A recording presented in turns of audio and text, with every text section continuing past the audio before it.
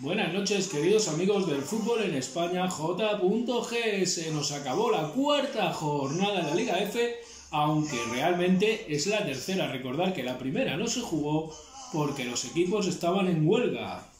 Ahora bien, ¿qué habrá pasado? ¿Qué es lo que ha ocurrido en esta jornada 4? Pues todo ello lo sabéis en Fútbol en España, J.G. Ahora vayamos allá, veamos los resultados hagamos un pequeño análisis de la clasificación y lo que nos deparará la siguiente jornada. Empecemos por los resultados. Real Betis 1, gol de Rinsola Baballide en el minuto 25, Granadilla 2, Gisela Robledo que adelantaba al conjunto tinerfeño en el minuto 12 y Pisco de penalti hacia el 1-2 en el minuto 68. Deportivo Alavés 0, Villarreal 4.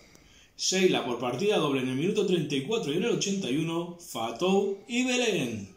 Sporting de Huelva 0, Valencia 0. Goleada del conjunto Blaurana, ya tardaba la verdad este año en, ganar la primera goleada.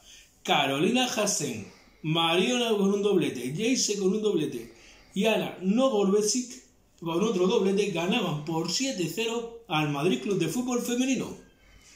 No confundir con el Real Madrid. Levante 2, Atlético 1. Los goles del Levante los hacía Nenayo en propia puerta en el minuto 29.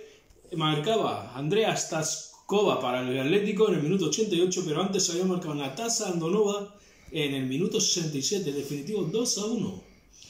Levante las planas 3, Alama el Pozo 1.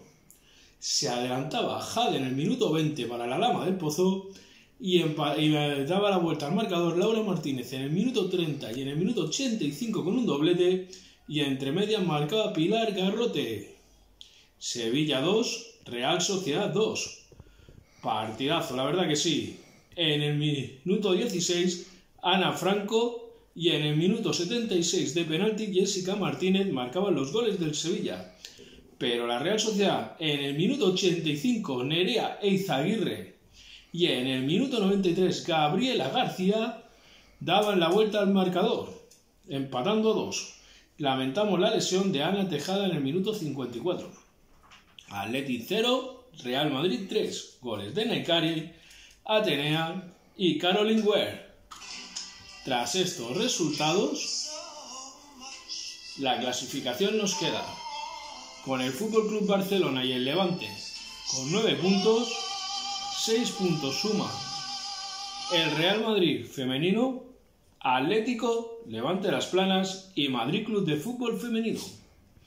5 puntos la Real Sociedad, 4 Valencia y Sporting. Décima es el Villarreal con 3 los mismos que Granadilla y Atlético, con un puntito el Betis y el Sevilla y cierran la clasificación Alama el Pozo y Deportivo a la vez, todavía sin puntuar. La siguiente jornada será la quinta del campeonato y nos llegará el sábado 15 de octubre con los siguientes partidos. Levante las planas. Levante a las 12 de la mañana.